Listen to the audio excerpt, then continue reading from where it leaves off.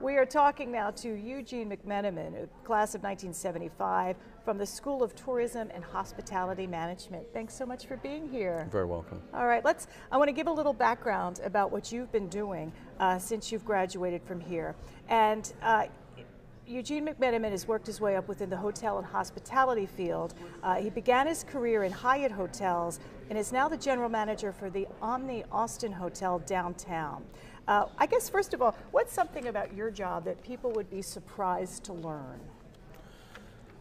Oh, my Lord, that as a general manager, I'm responsible to uh, open trunks of cars, take luggage out, room people, bus tables when needed. I think everybody in the hotel industry is used to that everybody does everyone's job when needed based on the demand of the customers. You just pitch in wherever. Absolutely. And you know how to do everybody's job in your hotel. Not as well as they do, but uh, certainly I try. That's good. That's good. Um, what would you say for you has been the most rewarding part of your career? Uh, I, I, I, believe working with people um, from all different backgrounds.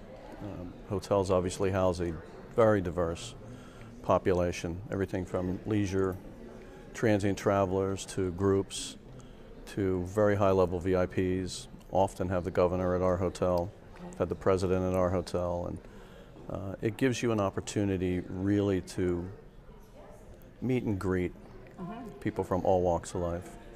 On the flip side of that, Eugene, what would you say is the most challenging part of what you do? Keeping customers happy and keeping regular customers coming back is a challenge for that industry. Uh, how do you feel about living in Austin now compared to your years here in Philadelphia? Has your industry sort of taken you all over the country? It has. I've worked in many different areas, many different cities. Uh, Philadelphia is my hometown. My heart's here. Go Phillies, go Eagles.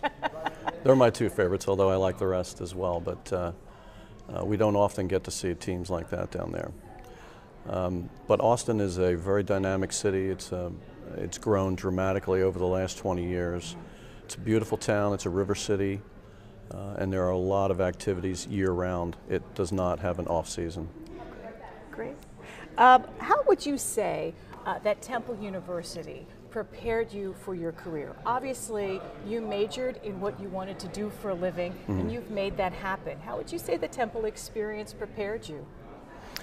Um, it was it was very much out of my comfort zone to come to a large university. Um, I was in a high school in Jersey and spent a couple of years at Rutgers University, okay.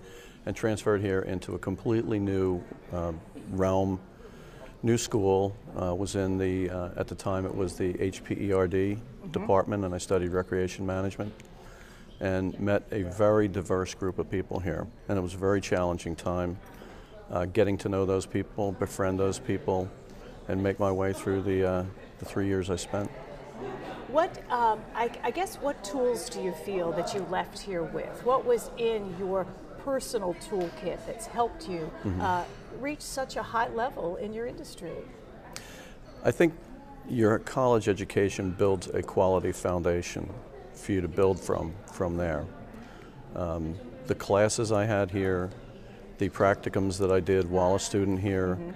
Uh, pushed me out into the real world, uh, maybe more quickly than just going through a liberal arts type of a program.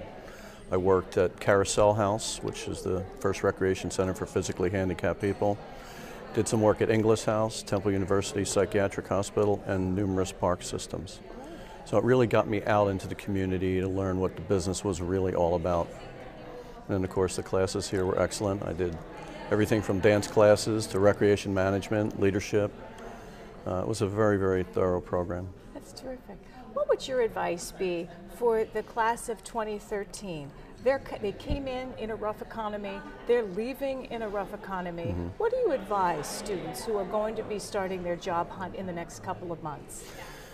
Wow, that's a, a big question, but I would say work for a quality organization. Um, they tend to do better in off times.